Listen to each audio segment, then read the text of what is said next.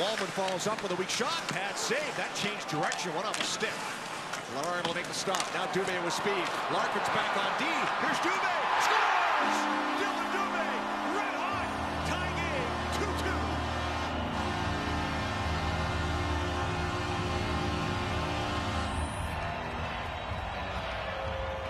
Speed versus speed. Dillon Dubé against Dylan Larkin. And watch Dillon Dubé. He's on his wing.